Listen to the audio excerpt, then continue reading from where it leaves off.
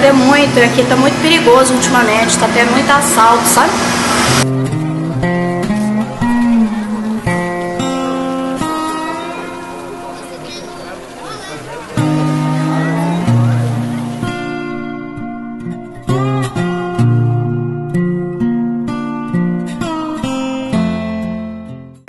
Pensei que fosse até gás que tinha explodido, sabe? A senhora ouviu a explosão? Nossa, os- o pessoal tudo, os vizinhos tudo, e pediram para todo mundo entrar para dentro de casa.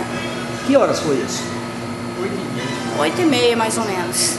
A correria, a senhora, a senhora viu correria? Eu vi correria sim lá do- da, da Secretaria de Educação, que é de frente à minha casa, né? E o- os vizinhos tudo.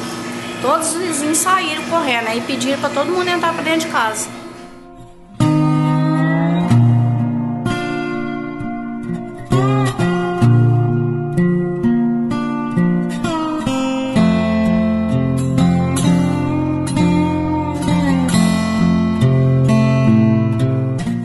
Os comércios aqui tá fechado porque a polícia pediu para fechar, porque teve a, soltaram uma bomba ali na, no presídio e o pessoal tava tudo aí na rua aí, saqueando as pessoas, roubar bis, esses trem, mais ou menos assim.